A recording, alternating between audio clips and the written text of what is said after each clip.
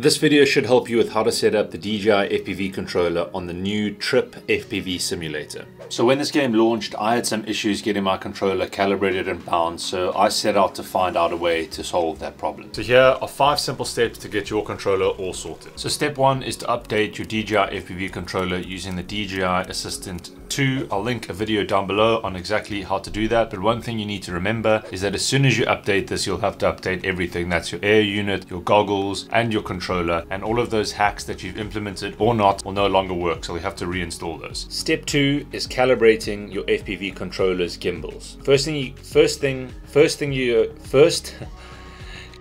First thing you're going to need to do is power on your drone, your goggles, and your FPV controller. Once you've done that, Navigate your way on the FPV goggles over to settings, remote controller, and then calibration. This is the option on the far right of the screen. Click calibrate and then simply follow the instructions. This should all take around about one minute. Step three, you need to use the right cable. I was using a typical FPV simulator cable before, but that didn't seem to work, you need to make sure you're using the USB-C cable that comes with your DJI FPV controller. Yo, this this angle is quite sick actually. This might become my new this might become my new angle. This thing's dope as Step 4, now you're ready to play. Power up the controller, plug it into the PC, boot up the game, and voila. You should be able to calibrate your controller now and everything should work. Here are my axis selections so that you guys can use the same if you're having trouble picking the correct ones. And that's all for now. See ya.